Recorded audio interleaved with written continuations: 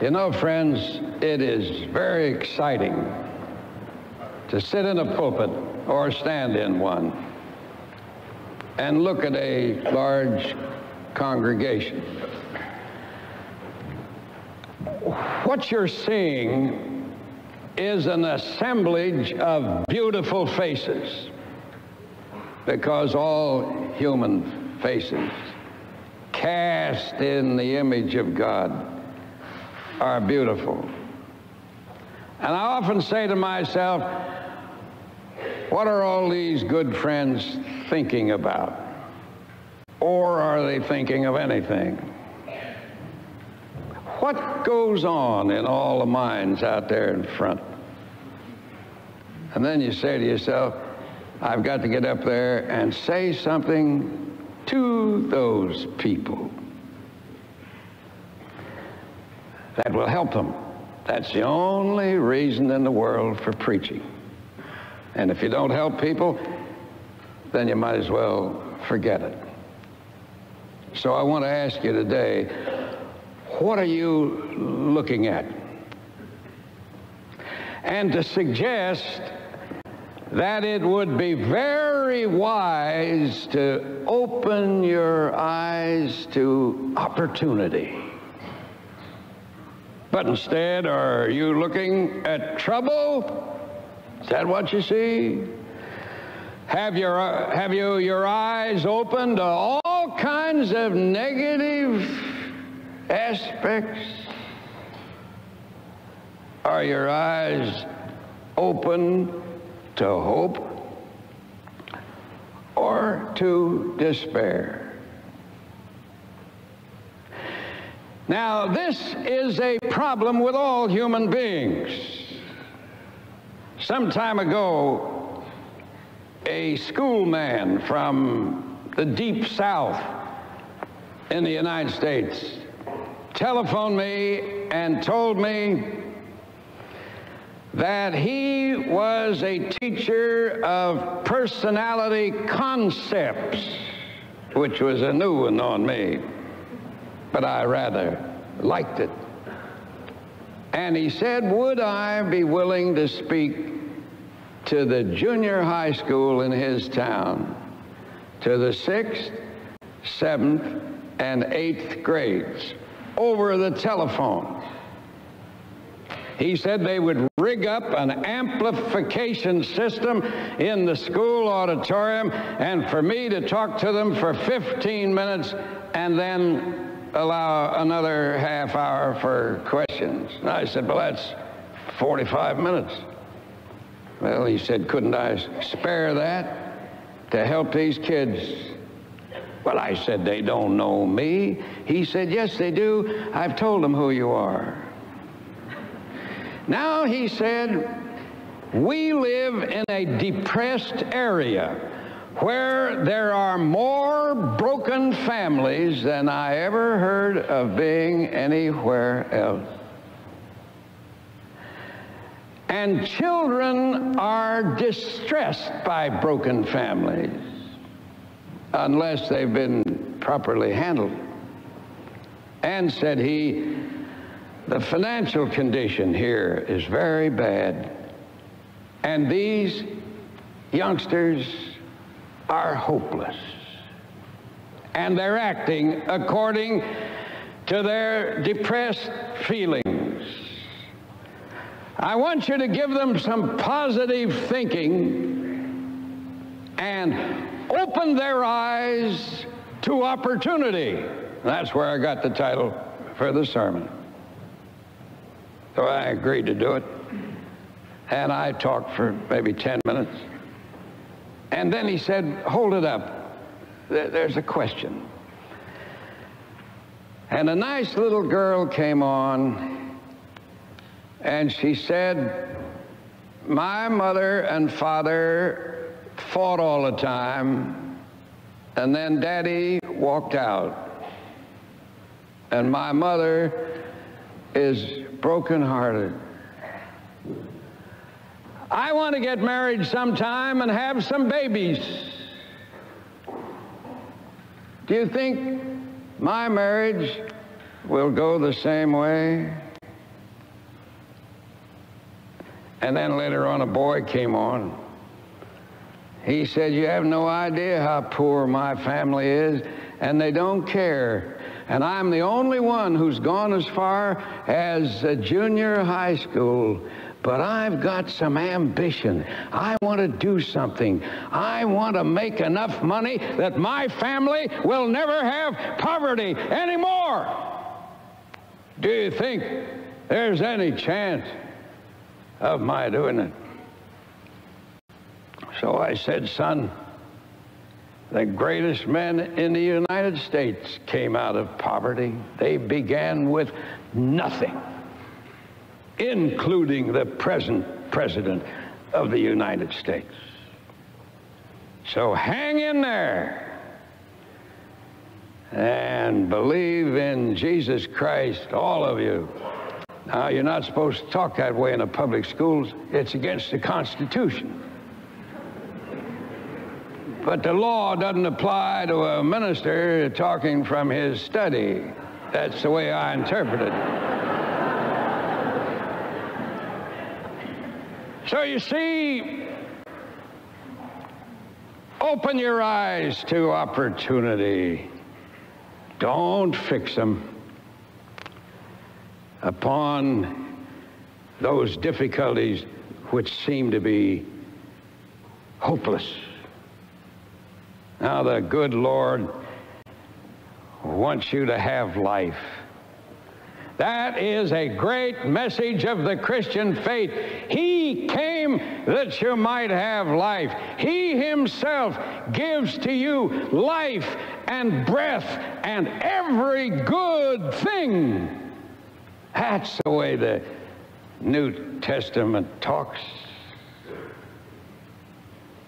The other morning, I awakened in my hotel in Albuquerque, New Mexico before dawn. I was on the 14th floor. There was no building to obstruct my view. I was looking out over the vast Pueblo country of New Mexico.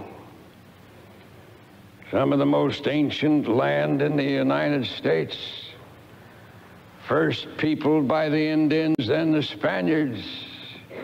Romantic history seemed to flow from those plains.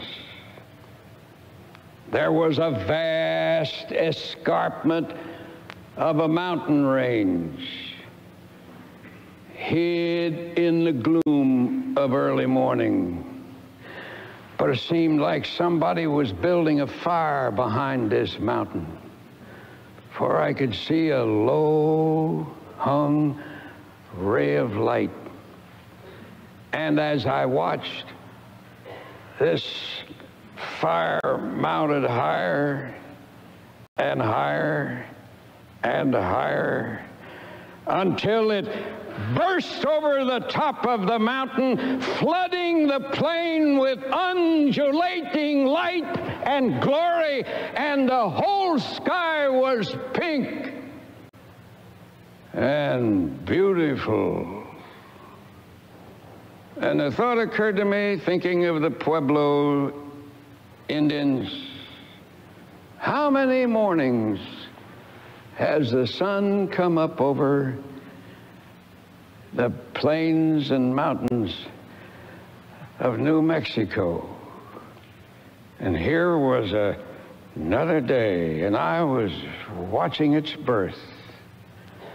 Then it seemed to me that God just took that morning and hurled it at my feet. And he said, Here, son, is a glorious, precious thing. I'm giving you a new day, February 20th, 1981. What are you going to do with it?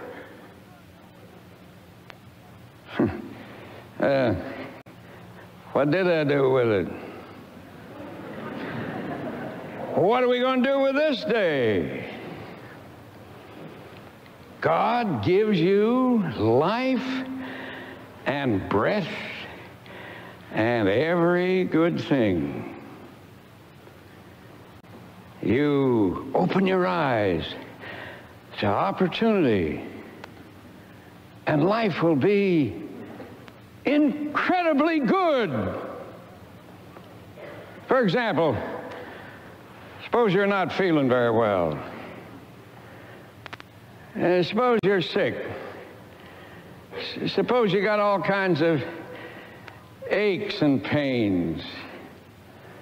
Uh, and you say, well, when you begin to get along this age, that's what you got to settle for? Why do you have to settle for it? What age in life means that you're no longer vital, vigorous, and healthy? The Bible that was read in your hearing this morning told us that in Him we live and move. That means energy. And have our being. If you open your eyes to the opportunity for energy, vigor, fullness of life, He's there to give it to you because He promises you life and breath and every good thing. And there's some people who find it.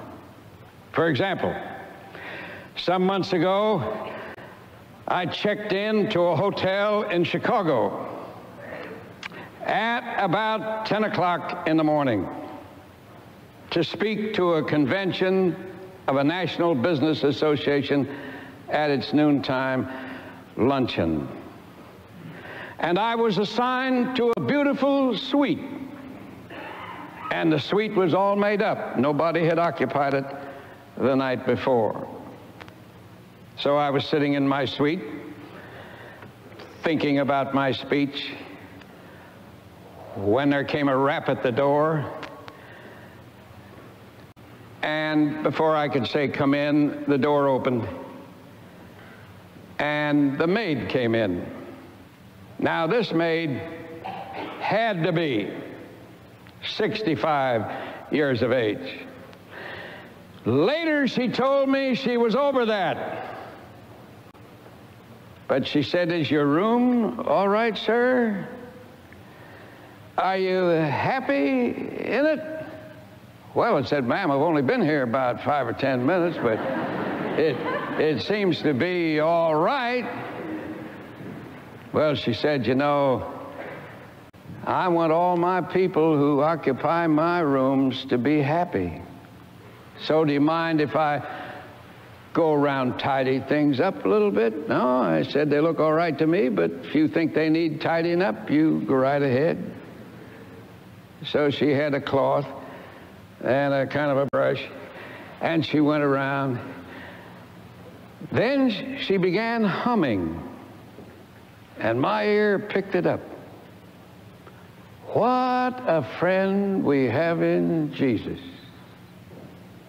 And she went from that into a, another hymn or two. And I said to her, Ma'am, you sound like a Christian. Oh, do I? She said, Well, bless your soul. That's exactly what I am. Her beautiful ebony face shone with the glory of God. And I, I loved her. I said, Well, ma'am, we're brothers and sisters. Oh, she said, Are you a Christian too? As if to say, You don't look it.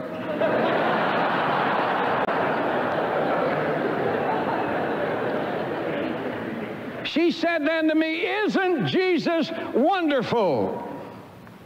Yes, I said, He is. But why do you say it? Oh, she said, I, I went through so much sickness, so much pain, so many aches, and so much trouble. And then I found Him. And you know what he did for me? He not only saved my soul, he changed my whole mentality, and he changed my physical body. And she said, Sir, I want to tell you something, and this is why I put this story in. He, she says, The older I get, the better I feel. Then's when I said to her, How old are you, ma'am? She says, Isn't that a nosy question? She said, I'll venture I'm older than you are. I said, You lose.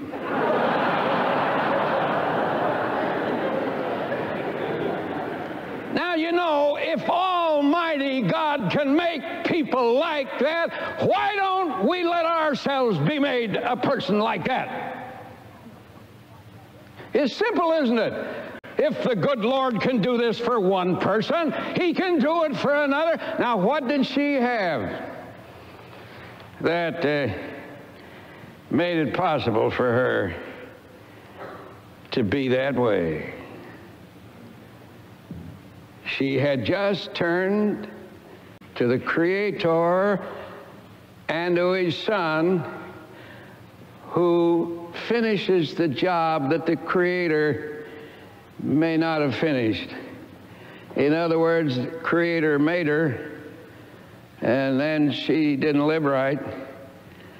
And the Son of the Creator has the same marvelous alchemy in his touch. And he made her to have opportunity so don't go around looking at ill health, sickness, weakness, arthritis, or what have you. These things are real. Sir William Osler, the greatest physician in the British history, says to his students, Ask not what disease the patient has but why the patient has the disease, which is medicine in its profoundest. We become sick because of what we are. And another distinguished French doctor said, when a person dies, he does not totally die from the disease.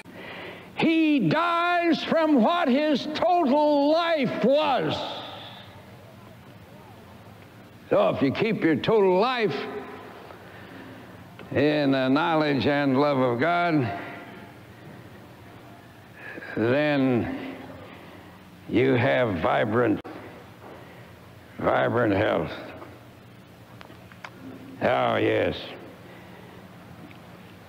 Open your eyes to opportunity, to what uh, life can be. Get excited about it. Feel the vibrations that come everywhere from this dynamic universe. Spring is now coming. It's way ahead of time in February.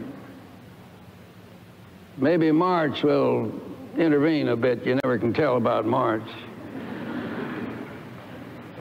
But life is emerging once again in all of nature. And life in the individual emerges if he has his eyes open to opportunity. On my recent uh, speaking trip to which I referred a moment ago, I was taking a walk with my wife who was with me, and we passed a beautiful barber shop.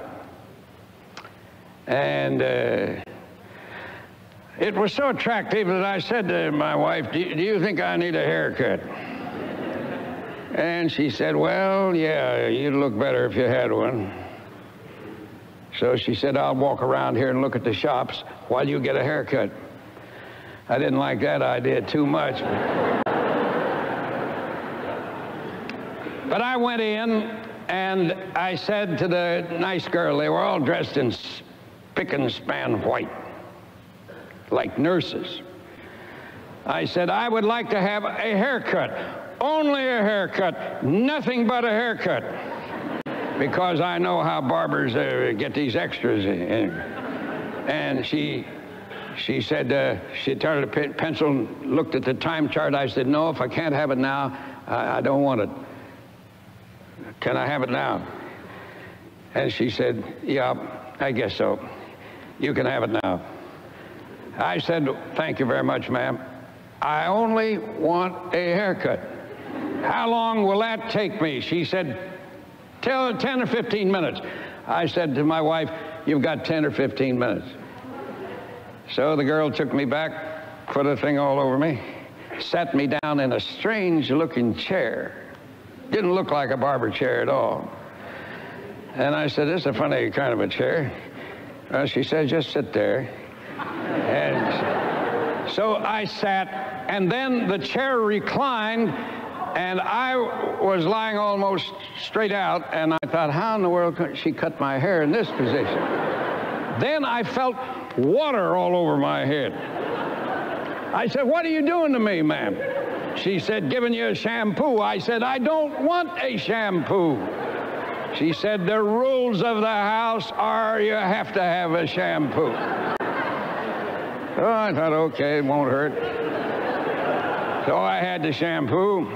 Then she got me out of the chair and took me into another chair where there was a man. And he had a regulation barber chair. And uh, this man said, Good morning, sir. Isn't this a terrific morning? He said, I hope you feel happy with a day like this. I said, Yes, I feel very happy, but I did not want a shampoo. well, he said, Sit right down here. He says, You didn't want a shampoo. Uh, I said, No. He said, We give everybody shampoo before we work on their hair because their hair responds more perfectly to our treatment if it has been washed. I said, Well, isn't that great? He said, Besides, our business isn't merely to cut people's hair. Our business is to work with the personality. We want all of our customers to walk out of this shop looking up at the sun, happy and positive in their outlook. And he said, in order to do that, you got to give them a shampoo. But, said he, it would be better if we could shampoo the inside of the head.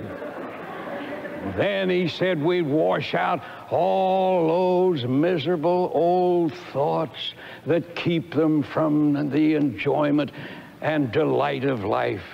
He said, We want our people to walk out of this shop clean inside and clean outside. I said, You know something, sir? You and I are in the same business.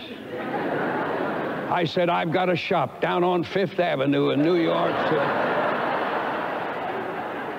where we do exactly the same thing.